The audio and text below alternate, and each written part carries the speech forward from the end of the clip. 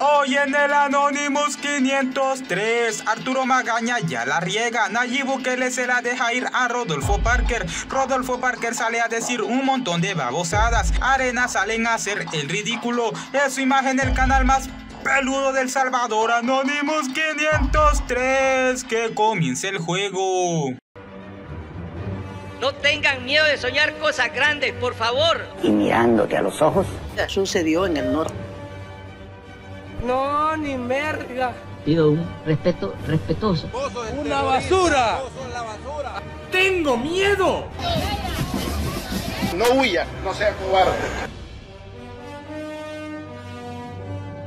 Muy bien, en este día tenemos mucha información que dar, así que sin tantas babosadas, démosle con todo. Ah, veremos qué sucede. Estoy un poco nervioso. Muy bien, en primer lugar, en la madrugada de ayer ocurrió un choque donde estuvo vinculado el diputado de Arena Arturo Magaña, donde lastimosamente dos de los acompañantes que pueden ver en las fotos fallecieron a causa de dicho suceso. No mostraré el video porque tiene imágenes no aptas para la plataforma, pero les dejaré con un fragmento del audio. No, hombre, yo ayudándole a ella, estoy ¿Quién andaba ese carro? No sé. ¡Moya! No, pero ya estuvo, ya se despertó, ya está roncando bien. ¡Moya! Eso es de gente muy cochina. Sí, señores, Arturo Magaña y sus difuntos amigos se encontraban bajo los efectos de bebidas alcohólicas, lo que provocó los hechos. Y para pasar de tema, lo único que debo decir es que de esto debe servirnos de lección. Y con el tiempo esto traerá más consecuencias en estos últimos días, se los aseguro. Apesta y no me agrada. Muy bien, y en otro tema, el día jueves el presidente Bukele sostuvo una reunión con el embajador de Estados Unidos para hablar sobre las donaciones y préstamos que ambos países han acordado y salió a decir que los periódicos y los diputados nos han estado mintiendo y que será nuestra culpa si nosotros le creemos a ellos. Veamos. Pero sí un mensaje al pueblo salvadoreño. Ya no les crean a estos sinvergüenzas. De verdad. Es decir, yo creo que ya deberíamos estar aburridos, pues. O sea, cuando alguien viene y agarra y me dice, mira, pero en la portada de la prensa gráfica dice que, o la portada del diario de hoy, ya no le, le van a creer otra vez. Después de todo lo que han hecho, después de todo lo que han mentido, después de todo lo que han dicho, después de todo lo que nos han hecho, después de todos los impuestos que no han pagado, ahora resulta que ellos son los paladines de la justicia, de la verdad, de la transparencia, de la institucionalidad, de la democracia. No han creído ninguna de esas cosas y nos lo han demostrado con hechos. La verdad, las cosas como son. Y además habló sobre las pendejadas que dijeron los diputados en la interpelación del ministro Monroy y les dijo que ellos tienen envidia a él y por esa razón viven atacando al ministro todo el tiempo. Veamos. Uy, pero no, que entraron soldados, qué barbaridad. Es que es al revés. Claro, un delincuente se siente bien con delincuentes. Si ven policía o soldados, uy, me van a agarrar. Claro, y no iban a agarrar a ningún, a ningún diputado. Pero la psicología del delincuente funciona al revés que la psicología del pueblo honrado. Personas cortando árboles, acompañando a la tropa, querido por la gente, a, a, interpelarlo. ¿Para qué? Para empatarlo. O sea, ellos no van a vender la idea de que los exministros de defensa de ellos fueron buenos. Ahora resulta que son los paladines de la justicia, de la verdad, de la transparencia, de la institucionalidad, de la democracia. Así los tiene. Dos huevos así de grandes que tiene. Y además les mandó a decir a esa bola de incompetentes que los casos en el país vienen bajando por el buen manejo del gobierno y que ellos no están manipulando nada. Veamos. Pero bueno, si alguien piensa que podemos ser tan, no malos, sino tan tontos como para subir cifras, se va a ver en los hospitales. Si ustedes ven que las cifras del gobierno están subiendo así y de repente los hospitales están bajando de pacientes, entonces pues no pega, ¿no? Pero si ustedes se revisan los, ¿cuántos meses llevamos de pandemia? Desde marzo, marzo, abril, mayo, junio, julio, agosto, seis meses de pandemia, si ustedes revisan cómo han subido las, las cifras del gobierno, han subido la, las, la gente llegando a los hospitales. Ese verga es mi ídolo a la verga. Y sí, señores, ahora escuchemos las pendejadas que dijo el cerote de Rodolfo Parker de que él y los diputados van a mandar a llamar al FBI para interpelarlos por lo ocurrido con los ventiladores que los Estados Unidos iban a mandar. En el fondo es eso lo que busca esta comisión, que se conozca en qué se ha gastado, cómo se ha ejecutado, en qué se ha invertido el PIB de los salvadoreños en el marco de la pandemia, sea producto de préstamos, sea producto de donaciones, sea producto de reorientaciones presupuestarias. No cabe duda que es un estúpido. Y sí, señores, el señor presidente le mandó a decir a ese cerote que los ventiladores son una donación y que el país no tiene que meterse con las investigaciones del FBI y que dejara de decir pentadas. Veamos. Y de repente el diputado Rodolfo Parker en la comisión especial que está investigando, así le han puesto ellos, y dice, vamos a pedirle información al FBI que le informe a esta comisión especial. ¿Qué se cree? ¿De verdad él piensa que él le va a ordenar al FBI? O sea, el tipo está desquiciado, de verdad está desquiciado. Y empiezan, y lo peor que yo pensé que iba a ser una propuesta de un desquiciado. Pero de repente tiene los votos en la comisión y aprueban, en la comisión de la Asamblea Legislativa, aprueban exigirle al FBI que le envíe la información de qué pasó con los respiradores que se robaron en Estados Unidos. Hay diputados loquitos, ¿verdad? Pero otra cosa es ser demente. Y de verdad yo creo que estamos viendo gente demente. Oye, ¿para qué estás demente? Sí, señores, díganme qué piensan de las idioteces que dijo Rodolfo Parker. ¿Será que los Estados Unidos tienen que obedecer las órdenes de esos pendejos? No, ni merga.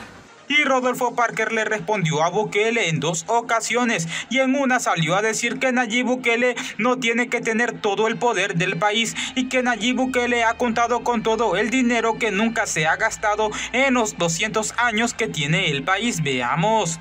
Bukele ha tenido en sus manos la cantidad más grande de dinero que un gobierno ha tenido en nuestros 219 años de historia. Bukele es muy bueno para proteger a su familia, a sus socios y a sus allegados, pero ha desprotegido a nuestros médicos y enfermeras. Quien miente y sigue mintiendo es Bukele. El que miente roba y el que roba puede matar a Bukele ni todo el poder ni todo el dinero sin control. Eso es lo más estúpido que he oído. Y en otras declaraciones salió a decir que Nayib Bukele le tiene miedo a él y por esa razón lo vive atacando y que Nayib Bukele es capaz de darnos en la nuca a todos. Veamos. Era un mensaje al presidente Bukele. Quítate la obsesión con mi persona. La decisión en lo que respecta a pedir el informe al FBI sobre las investigaciones que públicamente se conoce que el FBI está realizando fue una decisión de la Comisión Especial. Si tú, presidente, crees que es un acto desquiciado buscar que se rindan cuentas, pues hombre, mírate tú en un espejo. Un llamado al pueblo salvadoreño. Salvemos a nuestro país de la tiranía. Salvemos a nuestro país de Bukele. ¿Un qué? ¿Un qué? Un pendejo, un pendejo. Sí, señores, escriban en los comentarios qué opinan de las pendejadas que salen de la boca de este pendejo. ¿Será que Nayib Bukele le tiene miedo a él? ¿O será que este cerote ahora sí se le zafó el tornillo que le quedaba? Menos tú estás pendejo, ¿ok, hijo? Porque sí, señores, como todos sabemos, el cerote de Portillo Cuadra fue otro pendejo que quiere hacer una comisión sobre los ventiladores robados. Y según ese cerote, esa reunión se mantiene porque el país lo necesita. Veamos. La petición hacia el Buró Federal de Investigaciones se mantiene. En ese sentido vamos a esperar una respuesta oficial del gobierno de Estados Unidos para saber cuántos respiradores ingresaron al país, cuándo ingresaron y a quién se los entregaron. Y el pueblo salvadoreño merece una explicación sobre este tema. ¿Qué pendejadas están diciendo? Sí, señores, díganme qué piensan. ¿Será que la comisión que estos cerotes están haciendo es lo que necesita el país? ¿O este cerote no tiene otro lugar donde decir pendejadas? Buen intento, paposo. Y la cerota de la Tita Batre salió a decir que si los casos comienzan a aumentar en el país será por culpa de Bukele y no de los diputados porque ellos han enviado decretos que nos salvarán la vida a todos. Veamos de un repunte ante una apertura desordenada es el presidente de la República. ¿Y es por qué? Porque en sus manos está el sancionar los decretos que la Asamblea emita. No hay nadie más responsable de un posible repunte que el mismo presidente de la República. Quítate esa cara de gata que te cargas. Sí, señores, pero como los casos están disminuyendo, es gracias a los diputados. Y si van aumentando, es por culpa de Bukele. Díganme qué piensan de esta pendeja apesta y no me agrada. Y los cerotes que salieron a decir que privatizar el IS era importante, ahora salen a decir que mal entendimos las cosas. El cerote de Carlos Reyes salió a decir que las personas que dicen que Arena y el FMLN quieren privatizar el IS solo lo hacen para dañar las imágenes de ellos. Veamos.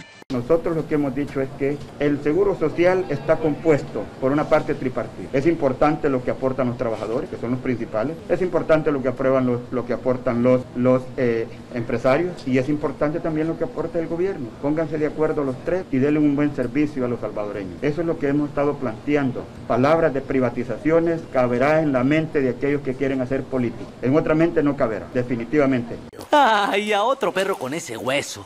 Y la cerota de la Nidia Cara de Mona salió a decir que el FMLN siempre ha estado en contra de las privatizaciones y que ellos por la salud han hecho hasta lo imposible. Veamos. Así que cuando aquí se empezó a hablar hace unos días sobre el tema de posible privatización de la Lotería Nacional, inmediatamente nos pronunciamos que no estábamos de acuerdo.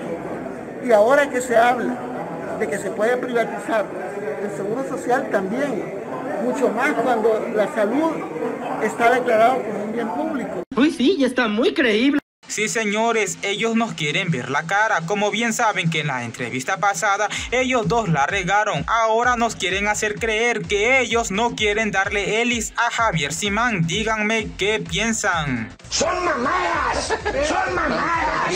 Y los de Arena publicaron que ellos buscarán coalición para las próximas elecciones y salieron a hacer el ridículo como nunca. Solo vean el tremendo spot que se mandaron los pendejos. Seguimos de pie, a pesar de las adversidades y mentiras. Aunque nos quieran ver derrotados, nuestros puños seguirán más unidos que nunca. Depende de todos. Presente por la patria. No mames, qué asco.